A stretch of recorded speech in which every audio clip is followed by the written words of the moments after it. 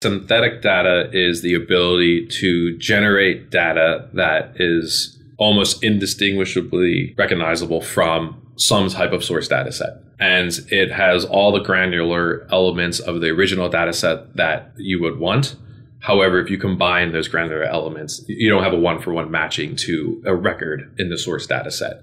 And you know, it heavily relies on machine learning and artificial intelligence to learn the semantics of the source data set. And at that point, once you learn those semantics and that model is built, you could just continue to generate records that in aggregate tell the same story as the source data, which is kind of like one of the key elements that we always like to talk about is you could still run the same types of aggregate queries and get the same story. It's not about just being able to use the individual records that you synthesize. Bandwidth for changelog is provided by Fastly. Learn more at fastly.com. Our feature flags are powered by LaunchDarkly. Check them out at launchdarkly.com. And we're hosted on Linode Cloud servers. Get $100 in hosting credit at linode.com slash changelog. Hey friends, this episode of Practical AI is brought to you by Code-ish, a podcast from the team at Heroku that explores code, technology, tools, tips, and developer life. There's tons of great conversations on the Code-ish podcast, so I would encourage you to check it out and subscribe. But in particular, I wanted to bring to your attention two episodes, episode 98 and 99, where Julian Duque explores the ethical and technical sides of deep fakes, the rise of manipulated pictures and videos, and other forms of computer generated media are able to cause uncertainty and doubt in what we see and hear online. So, how are we able to use these tools for good, if at all? Here's a sneak peek. Let's say we want to do a deep fake of my voice and we train the model and we have enough data and everything. This will be also able to imitate my accent, for example, like how I pronounce English and the strong pieces of my accent, or is not there yet? It really depends. If there would be a person with similar accent on the input, then it would be fine. But it's, it's kind of cheating. Uh, you you could you can think it's cheating because we're reusing accent of a different person that's similar to your accent. But if it would be like an, an I don't know like an American native speaker or a British a person with a British accent or like whatever diff, whatever other other accent, then um, it will kind of be a mixture on the output. So we're not there yet in terms of converting accents. It's it's a little bit more difficult than we initially anticipated because like when we started the company, we thought it would be you know we'll, we'll kind of solve it in a year or something. But then it turned out that oh no, we're here for we're here for much longer. Check these episodes out. Links are in the show notes to both episodes or head to heroku.com slash podcasts to listen and subscribe. Again, check the show notes for links or go to heroku.com slash podcasts.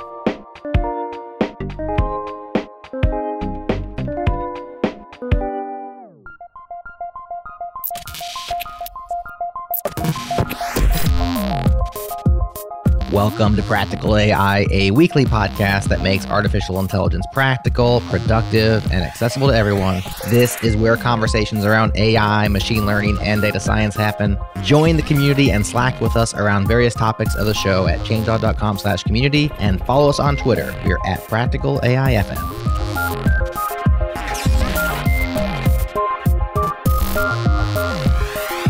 Welcome to another episode of Practical AI. This is Daniel Whitenack. I am a data scientist with SIL International, and I'm joined as always by my co host, Chris Benson, who is a principal emerging technology strategist at Lockheed Martin. How are you doing, Chris?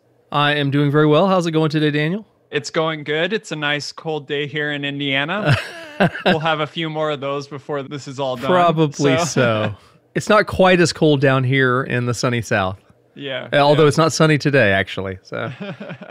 yeah, and uh, we had a new project funded this year related to some AI work for local languages and uh, trying to get all of that spun up and infrastructure in place and community website up for some shared AI tasks and that sort of thing. So it's a lot of structuring and setup right now for me, I would say.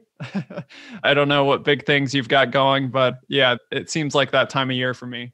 Absolutely. You know, from my standpoint, uh, I've just been enjoying, you know, just getting out there this weekend, flew around a little bit. Uh, I had my first night flight. Yeah. Pleasant. Get back to work here, here this week, and it's good. Yeah, Chris is getting his pilot's license for any of those out there that are wondering what he's talking about. But uh, yeah, that'll be exciting. I didn't run into anything last night. it was a good story. Yeah, I'm, I'm close by um, Purdue University and we have a, a, airport at the university. So I told Chris as soon as he gets his license, he can fly up here and then we can do our recordings in person. There you go. Nice. Today I'm I'm really excited by the topic that we have going. Chris, a lot of times in our past conversations, we've made reference to synthetic data or augmented data or data augmentation methods. We've also talked in various forms about privacy but I don't think we've really had a, an episode that has combined those in the great way that we're about to.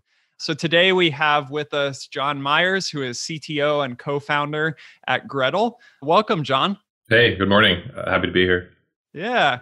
First, before we dive into all of that good data related stuff and practical goodness, could you just give us a little bit of an idea about your background and how you ended up working with Gretel?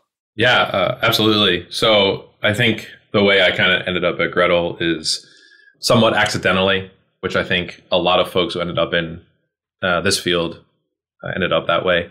So my background is uh, computer science by education, and then I did about 14 years in the Air Force. Uh, when I joined the Air Force, I came in as a communications and informations officer, uh, which is kind of a fancy word for kind of like network IT leader. And I did a couple years working in space launch communications out in California at Vandenberg Air Force Base. And then I got a interesting application to go to the National Security Agency and do some really cool hands-on engineering and development work. Sounded really awesome at that point. You know, my knowledge of the NSA was basically having seen an Enemy of the State with Will Smith, and I was like, that sounds. Wait, you mean it's not like that?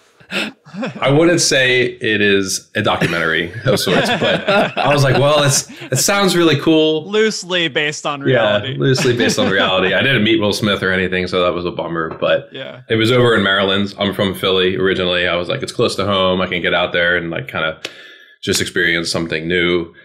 When I got there, I got immersed into the intelligence community and working at NSA, and I still wore the Air Force uniform, but I was kind of in an offshoot program there, and I got to work on really cool stuff, uh, working on like low level operating system engineering, you know, building exploits, stuff like that, and then I kind of pivoted in doing the big data analysis, which was kind of up and coming field at that time, and then.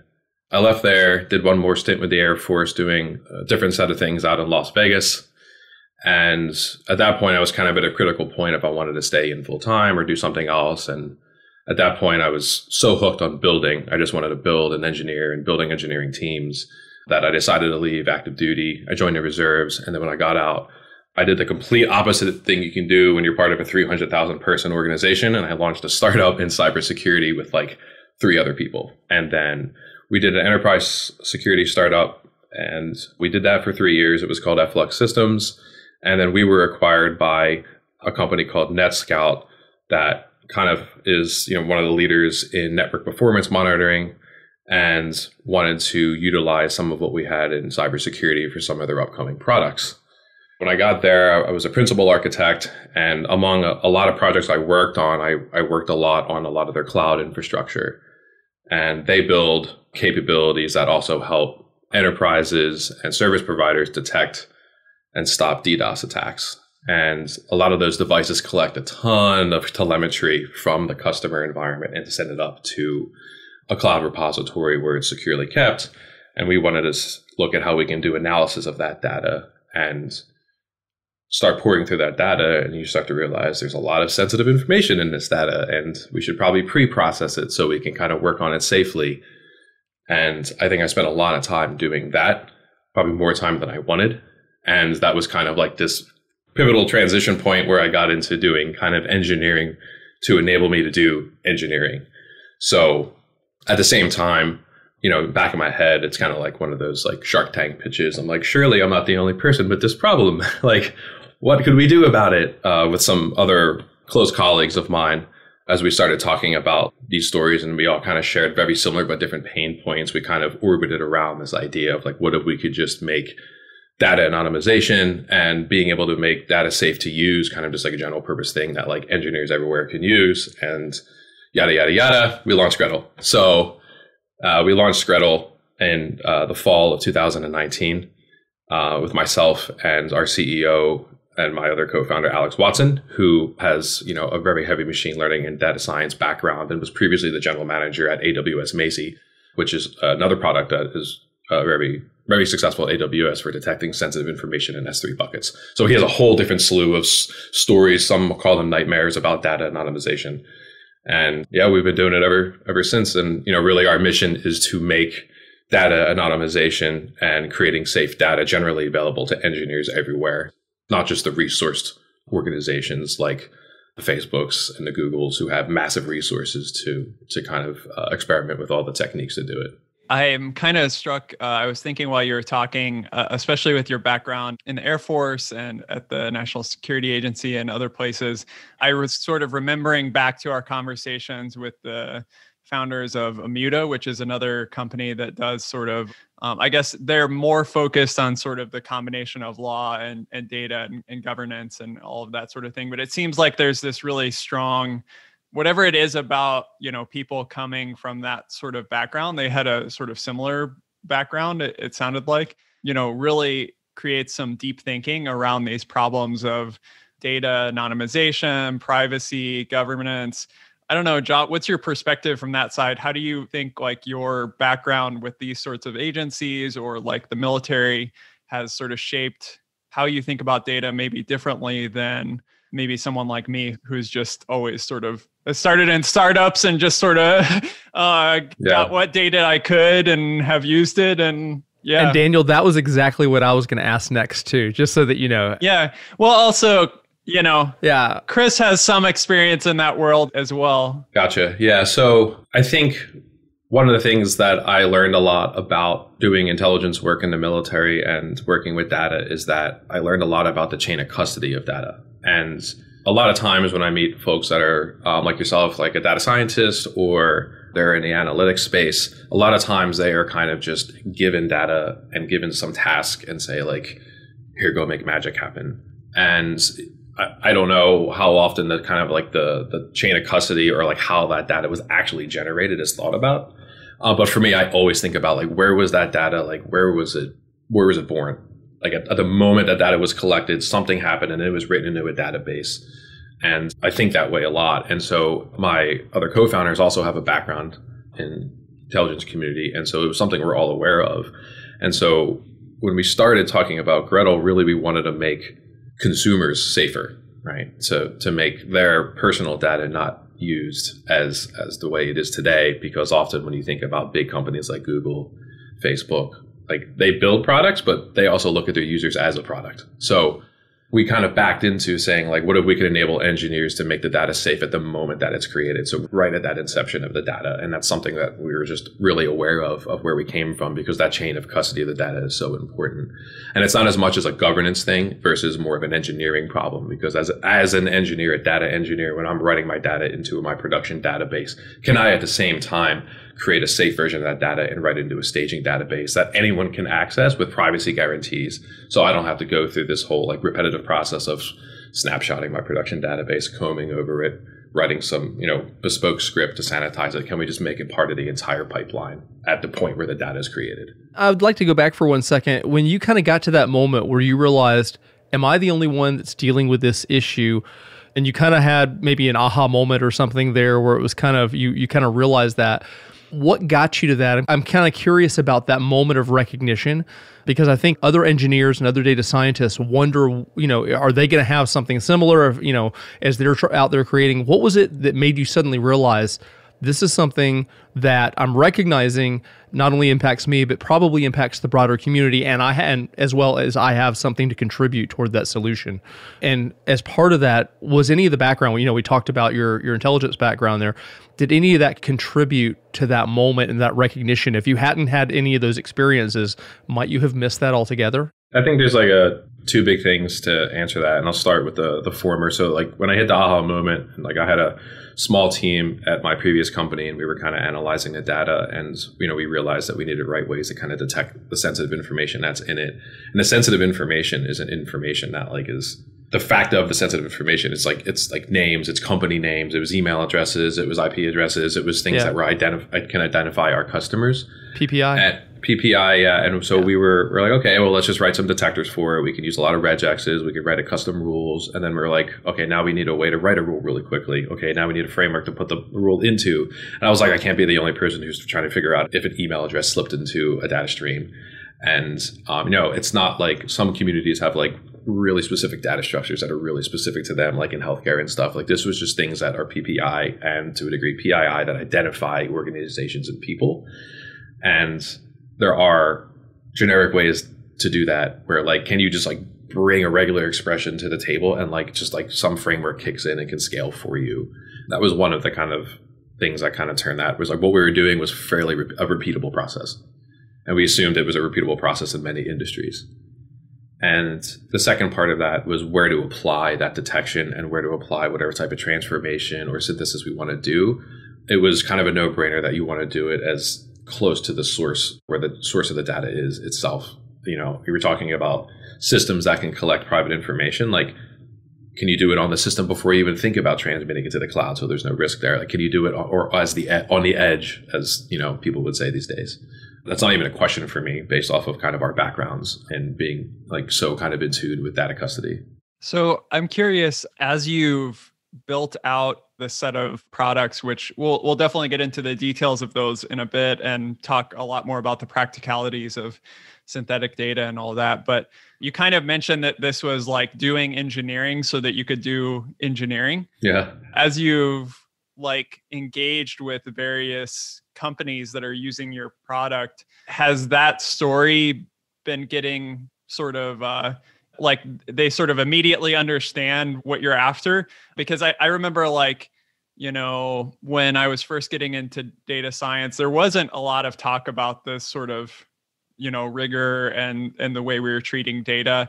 And probably you know people might have seen something like this as maybe a little bit burdensome like something they have to do before they actually get into the work that they really want to do. But how have people been like feeling that need in the industry and been you know accepting this sort of solution from your perspective Yeah, I think it's been received really well, and it's kind of a classic build versus buy problem, and a lot of folks are just willing to buy. But what they don't want to buy is some type of really difficult to install appliance or virtual appliance that kind of breaks their workflow. And so the way that we're targeting this is making it so it is our end user, our developers that can easily integrate it into what they're doing already. So making just another API call in their in their stack of what they're executing on versus saying like, yeah, sure, we can do this, but we have to kind of come and install a virtual appliance and you have to reroute your entire data pipeline through it. And so as soon as we kind of explain that, it works right into their existing infrastructure and you know, we take care of kind of the scale for them where they could just kind of bring you know their predictors or bring what they want to actually detect onto the to the table they much rather just kind of buy versus versus build it because it eats up a ton of cycles for them to kind of build this thing. And once it's not a build once and deploy type of thing either. It's not like they're building a framework that they can deploy once. It requires care and feeding because you're constantly adjusting what type of information you're processing and what types of things you want to anonymize on. And so we can kind of go on that journey with you and enable you to kind of care and feed a lot faster.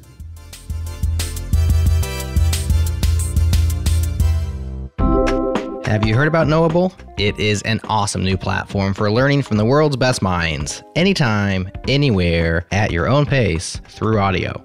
Learn about the performance benefits of a plant based lifestyle from NBA All Star Chris Paul, or how to launch a startup from Reddit co founder Alexis Ohanian. There's even a 10 lesson course from astronaut Scott Kelly. Here's a sneak peek.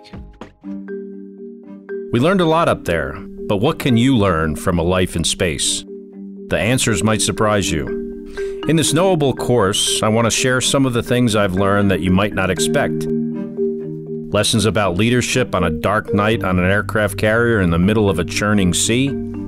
Lessons about the fear you feel with 7 million pounds of thrust exploding underneath you. And most of all, There's an idea out there that astronauts are always perfect. Failure's not an option, right? That's why I want to take you through some of my life experiences to show you how that's just not true.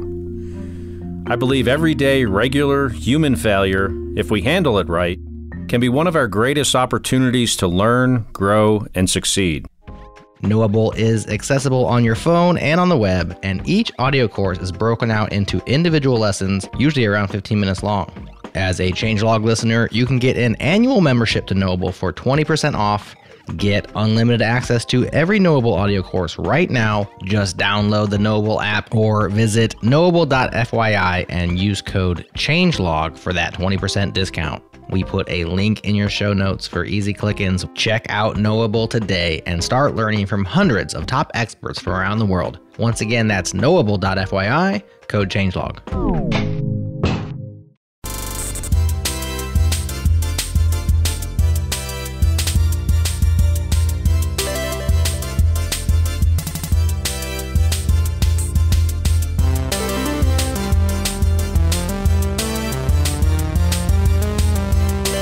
So I'm kind of curious. I know in the beginning of the, the conversation, when Daniel was introducing you, John, uh, he talked about synthetic data. Mm-hmm. Could you start off by kind of telling us what is synthetic data and kind of give us a little bit of a background before we dive into the specifics of, of what Gretel does and, and how it gets there, but kind of give us the, the terms that we need to know to be able to, to follow?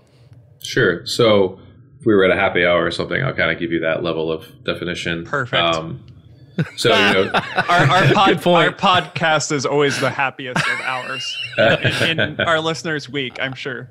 oh, that was funny. So you know, I would say synthetic data is the ability to generate data that is almost indistinguishably recognizable from some type of source data set. And it has all the granular elements of the original data set that you would want However, if you combine those granular elements, you don't have a one for one matching to a record in the source data set. And it is a, you know, it heavily relies on machine learning and artificial intelligence to learn the semantics of the source data set. And at that point, once you learn those semantics and that model is built, you could just continue to generate records that in aggregate tell the same story as the source data, which is kind of like one of the key elements that we always like to talk about is you could still run the same types of aggregate queries and get the same story. It's not about just being able to use the individual records that you synthesize. Now, I will say there are use cases for using those individual records, like if you have like a development environment and you're you're kind of building building a system and you want to look and see how the records fit into like your layouts and stuff. But for the most part, the idea is to be able to use those records in some type of in some type of aggregate feature. There's a whole lot of jargon, of course, in in our industry, and uh, you've already mentioned as well, like anonymizing data. How does like synthetic data complement anonymization techniques, or maybe like it's an alternative to it, or how do those two things fit together in terms of anonymization and synthetic data? Yeah, uh, I would say it all starts with the core use case, but it could either be a complement, it could be totally separate, or it could support, and they could support each other. So we kind of have two large buckets that we kind of focus on at Gretel, and one of them is being able to kind of detect PII, detect PPI, and then apply different transformation techniques to the data in place so that like your data is essentially the same, but there's, there's like typical redactions or like character replacements or whatever. And that kind of falls in line with a lot of the existing solutions that are out there that fall under kind of like a data loss prevention capability. And you'll see a lot of the cloud providers like Azure, AWS, Google, they all kind of have a DLP set of APIs you can apply, except that usually requires like to be bought into their ecosystem and already have your data sitting there. In our mind, that's table stakes, just to even have a conversation about privacy. And we offer a set of APIs that allow you to kind of detect and do those typical transforms.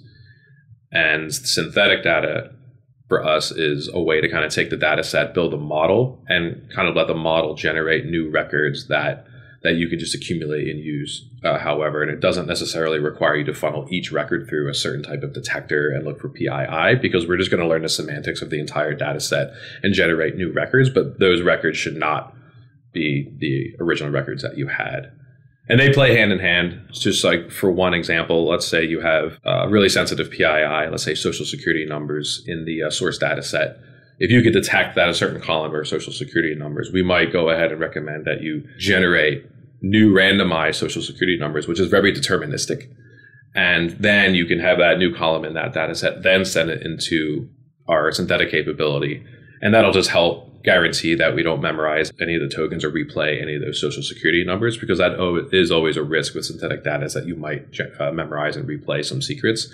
And that's kind of where like that whole field of differential privacy is coming in to address that situation as well. So does the synthetic data that's being generated does it always kind of start with uh, being a replacement for you know the actual PII that you're contending with at the time? Is it always kind of starting as a replacement factor, or is there ever a use case where you're generating it? Maybe like what if you're starting with no data and you wanted to generate it entirely synthetic, and just because you don't have something to start with, is that within that, or is that something? Would that be a separate type of use case, separate product?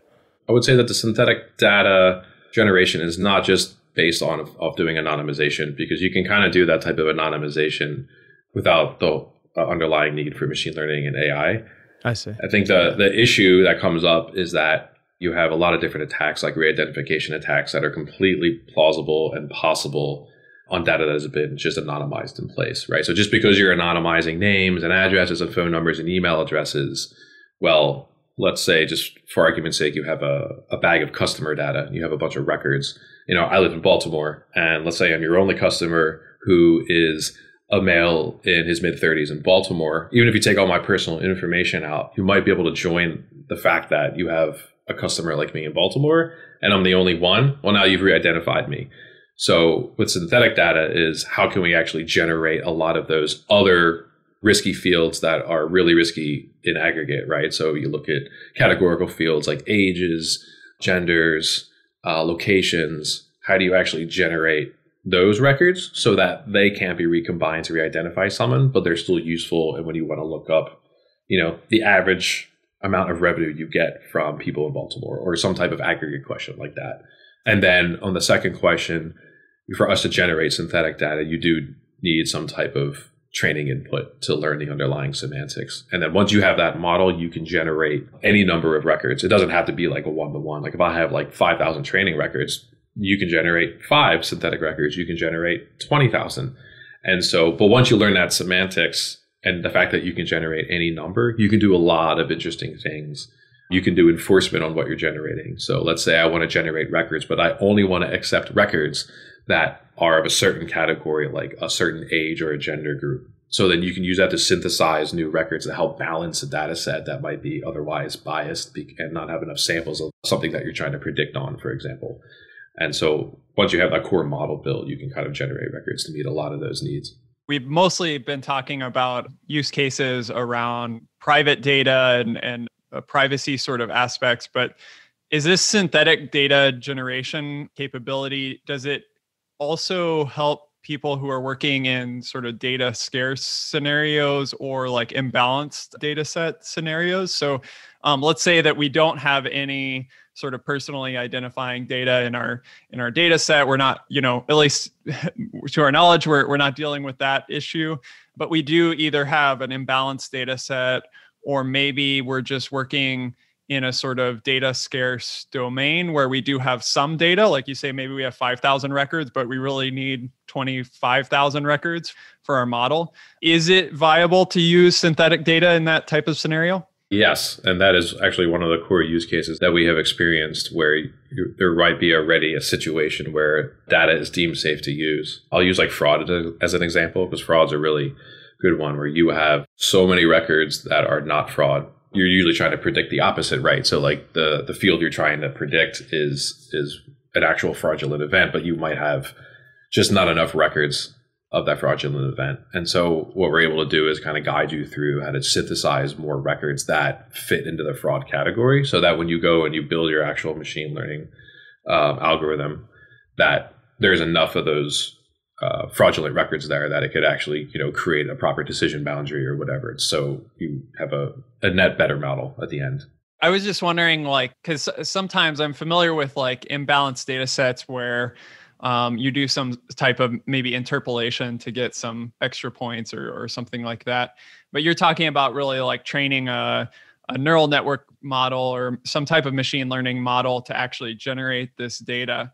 So maybe this is just too much of a simplification. I'm sure your methods are, are pretty advanced, uh, but is the basic idea that you would have some of the fields of a record be input to the model during inference and then it's trying to predict another of the fields of a record and similar to like predicting like the next word after a sequence of other words or, or something like that. Is that some of the basic idea, or, or can you give us any sort of intuition in, in terms of how the data is set up and that works?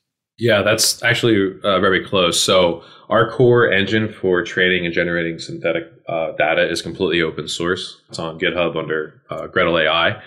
And our initial implementation with the open source package is it's kind of a wrapper framework and you can have a different a bunch of pluggable backends. And so right now our first pluggable backend is a uh, LSTM on TensorFlow. So it, it is kind of a sequential model, which is a lot different than a lot of the other uh, techniques that are out there. And what we do is we have the ability to kind of focus on text input. And then in the open source package, we also have another module that kind of wraps that entire thing inside of like a data frame. And then we can infer different field delimiters and essentially able to reconstruct those records as a sequence. And then exactly that be it. We can do it one of two ways. One, you can just say, just keep generating records with no input, or you could uh, specify what we call a seed, where it's like, okay, I only want you to create records that start with, you know, this age group, this gender, and then it'll complete those records. And that allows you to more efficiently increase a record of a certain type based off of what your requirements are. And then what we actually ship as the product is we have a bunch of different layers that work on top of that to do data validation.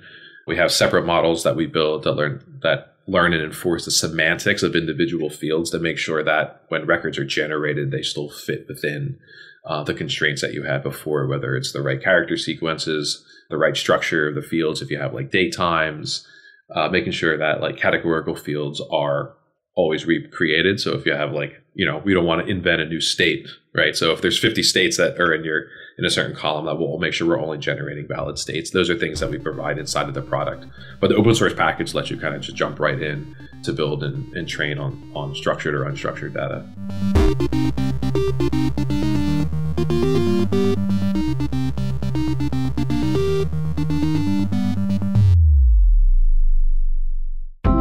Deserve a better internet, and the Brave team has the recipe for bringing it to us. Start with Google Chrome, keep the extensions, the dev tools, and the rendering engine that make Chrome great. Rip out the Google bits, we don't need them. Mix in ad and tracker blocking by default, quick access to the Tor network for true private browsing, and an opt in reward system so you can get paid to view privacy respecting ads, then turn around and use those rewards to support your favorite web creators like us. Download Brave today using the link in the show notes and give tipping a try on changelog.com.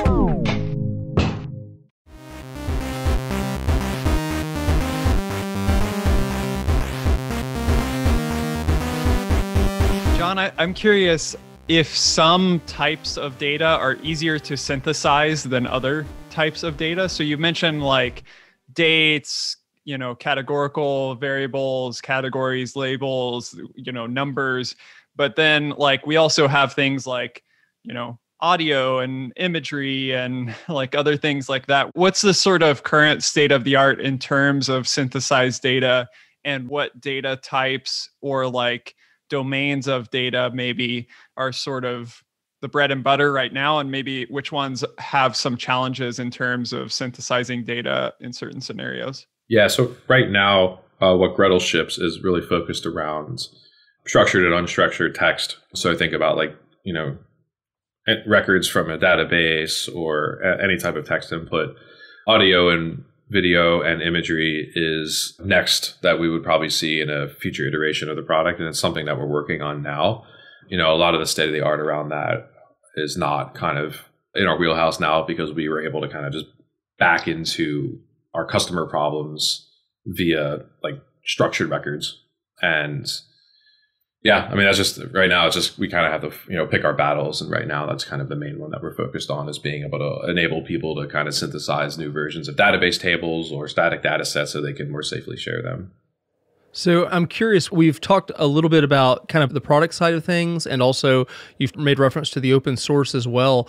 Could you differentiate a little bit between kind of what each side of that has to offer so to kind of give people a framework in their head about wh- what they would go to for each and where do they maybe step up from open source to your paid product services, that kind of thing? Yeah, absolutely. So right now the open source packages and there's two of them uh, one of them that allows you to get started with synthetic data and the other one that allows you to get started with kind of our traditional transformers to kind of mutate data in place those are python libraries that are available to anyone licensed under uh, apache 2.0 and obviously you go in using those knowing that it's python. And um, that already is kind of a qualification for a lot of our customers. And which isn't a problem. We have a ton of researchers and data scientists that live and breathe in jupyter notebooks and so they're able to plug that right in. Last august we launched a beta of our more of our premium features and that beta basically allows you to use our cloud service to uh, test out our labeling capabilities and then what we ended up doing was packaging up a lot of our premium capabilities, which kind of include automatic data validation, it does a lot of analysis to make sure that correlations across all your data are held and distributions across your data are held properly. We also released those available as an SDK that you can download through our authenticated API. We had a great about you know several months of going through that beta, getting a ton of feedback from users, and then you know what we walked away from that knowing is that what we really want to do is make this available to engineers everywhere. And engineers everywhere can't necessarily just download a Python SDK and incorporate it in their pipeline if, let's say, your entire backend is written in Java. And so, how do we drastically simplify what these premium SDKs do? And so, what we're building now is the ability to kind of launch Gretel services as kind of containerized capabilities that are backed by REST APIs. So now you can interact with our services purely through a REST API, which is completely language agnostic every engineer at some point has gone through the process of making API calls to a remote service. And so now that is kind of the qualification factor. We wouldn't have learned everything that we learned if we didn't have kind of that granular level capability out there through the beta. So now the entry point will kind of either be you can run Gretel services in your environment. We're also building a hosted service where we can run and kind of scale these capabilities for you. But it should be as easy as taking your data set or taking some records a lightweight configuration, pushing it to an endpoint, and that endpoint will then trigger a whole bunch of backend work to learn, build a model, generate data for you. And at that point, we really just want to be a bump in the line in your entire data workflow to be able to call into these APIs. And so that's what we're working on now is just to really simplify that down. Based on what you've seen with your current users and, and customers, like if i'm a, a, data scientist working on a new project getting into some new data do you have any recommendations in terms of workflow with your tools? Like you know when i get the data i'm, I'm profiling it i'm doing some exploratory analysis. Where and when should i be thinking about fitting in some of these you know rest calls or, or python sdk um, elements into my workflow so that i can make sure that i'm dealing with maybe both sides of things anonymity and creating synthetic examples. Are you seeing that done? Maybe more specifically my question would be are you seeing that done in a workflow like up front and they do this on data and then they use that data moving forward always? Or are you seeing this as sort of a ongoing part of people's workflow? I would say that upfront is not the usual case that we recommend. And we recommend that there's usually a little bit of data cleaning you want to do, not down to the granularity of doing a ton of like all the exact feature engineering you would do to build a model. But at a minimum, and we have blueprints that help folks go through this process as well, is that you want to identify, you know, for example, columns that you probably don't need to worry about synthesizing because there's not something that your model is going to grab onto, right? So if you have records that have maybe like people names in them, typically those people names aren't going to be correlated to a lot of your continuous variables and your other variables in the data set. And if you can drop those columns first, you're going to save a lot of time on being able to train a synthetic model for that. And so other examples would be, you know, there's a lot of data sets we get from customers that, you know, are highly dimensional, you know, several hundred columns. And they're trying to train a model, you know, maybe like XGBoost model on, on that to predict something and a lot of times, you know, what we recommend is like, look, if you can kind of train your model first, and then you identify what the algorithm deems are the most valuable columns, just drop a lot of the other columns because then you're going to get way better performance out of maintaining the correlations on, on different subsets of the data set. And so we do kind of recommend it's like at that point, like maybe right before you would actually think about actually training your model is like once your data is pretty much in that good state around that ballpark. But it completely varies based off of off of use case. I mean, we have some customers that the first stop is, is coming to Gretel because they want to immediately detect if there's any PII that they could remove. So I'd say it definitely varies. Yeah, and I found that Gretel's blueprints uh, repo, which is uh, seems pretty interesting. So you, I see a bunch of these examples: boost massively imbalanced data set, create synthetic data from CSV or data frame, all sorts of examples. So if our listeners are interested in that, it looks like there's some notebooks and things in there that they can look at. Um, we'll link that in our show notes for sure for people to take a look at. But maybe one thing to kind of uh, start us thinking about you know things into the future where do you see are like the current challenges that are unsolved right now in terms of privacy and maybe data augmentation or synthetic data? What are some of those problems out there that you still see as as open problems that need to be addressed? Yeah i'd say there's a couple of problems and there's some semi related uh, so one of them is it's still a very nascent field and there's a lot of tools out there, and there's no magic bullet, right? There's no way just to magically take a data set and completely create a version of it that is, you know, perfect and doesn't violate privacy, right? There's always going to be a trade off between utility and privacy. And helping people understand that, I think, is going to be a really big challenge. And um, there's a ton of great research out there into how to kind of do that trade off between utility and privacy. And that's one of the things that we want to figure out is how to make that more obvious to to engineers when they want to anonymize data or make data safe to share. It's like all these knobs you can tune, right? And like ideally you don't want to go to a software engineer who's maybe a full stack engineer and they have access to a production table and they want to make a safe version of that data. You don't want to ask them to tune a bunch of like hyperparameters for a TensorFlow LSTM because they're gonna be like, whoa, I don't know what's going on here but you might want to ask them to say like look what is the trade-off in utility and privacy that you should have here? Like are you sharing this externally? Are you sharing this internally? Ask them those levels are and then how can we infer what all those really nitty-gritty knobs are that need to be turned for the underlying model that's being built? Which kind of segues into the second problem i see is that making these tools generally available to software engineers everywhere is is going to be a massive challenge right? And you can't ask every engineer to download a Python SDK and under and have like a crash course in machine learning to ask them to kind of build a safe version of their data set. And so how do we kind of bundle and package these capabilities in a way that engineers everywhere want to use as part of their day-to-day workflow, right? If you look at companies that made things like dead simple, like Stripe, made payments less scary because they have a ton of language bindings it's really easy to integrate into your app. It's just like another API call that you make and you don't think about it. And they're doing all this heavy lifting of like processing payments, which is a very complex thing. Uh, how do we kind of generalize down to that level? And that's kind of like definitely one of the big visions and missions that we have here at Gretel. So I'm kind of curious uh, as as you're describing that and like going back to the the beginning of that second you know challenge that you're looking at in terms of it really strikes me the scale of what needs to happen here. So kind of beyond the specific challenges that maybe need to be solved and that maybe Gretel wants to address, the scale of this is definitely holding a lot of engineers back, but you know, that are contending with this and can't get where they want to go. And if you're looking out over the next few years at kind of where this has to go uh, as an industry and the the need to broadly at scale be able to increase productivity in AI ML in general and this being such a core tenet of that where do you see the industry going with that? You know what needs to happen in the large to enable uh, you know 10 times 100 times as many engineers to be able to overcome these kind of problems and get productive with the problems they're trying to solve. You really got me thinking uh, as you were mm-hmm. answering those last two about how to get there from here. How do you get there? That is a great question.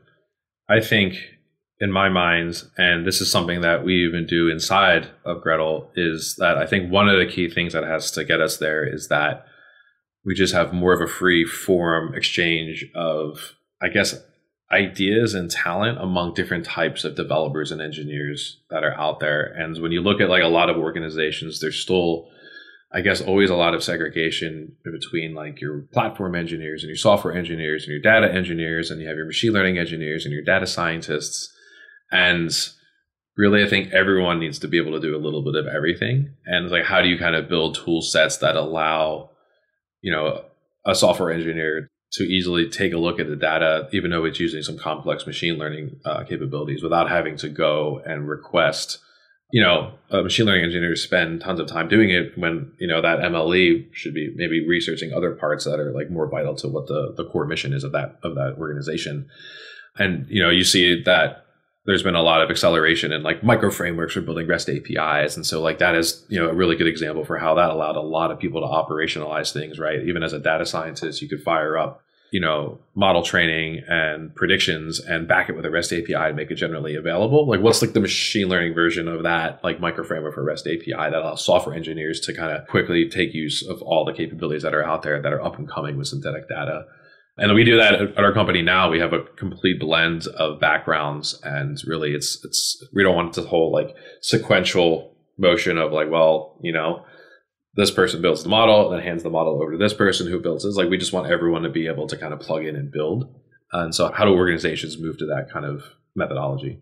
Tearing down the walls there, so to speak, of those those distinctions. Yeah, for sure. Well, John, I'm super excited about what Gretel is doing, and I really appreciate your detailed description of, of why these things are important and how you're solving some of these problems. I think it's really important. We'll make sure and link, like I mentioned, some of these links that we talked about in our show notes for people to check out. Please go and check these out. Try to generate some synthetic data with uh, their tools and, and check out their platform. And yeah, thank you so much, John. Appreciate you taking time to talk to us. Awesome. It's been a pleasure to be on the show, and uh, thanks for having me. Thank you for listening to Practical AI. If this is your first time, make sure you subscribe so you don't miss a thing. Head to practicalai.fm to subscribe or find us in Apple Podcasts, Spotify, or wherever you listen to podcasts. And if you get value from the show, please do share it with a friend or a colleague. We appreciate you spreading the word. Practical AI is hosted by Daniel Whitenack and Chris Benson. It's produced by Jerod Santo, and our music is provided by Breakmaster Cylinder. We are brought to you by some awesome sponsors. Shout out to Fastly, Linode, and LaunchDarkly. That is our show. We hope you enjoyed it, and we'll talk to you again next week.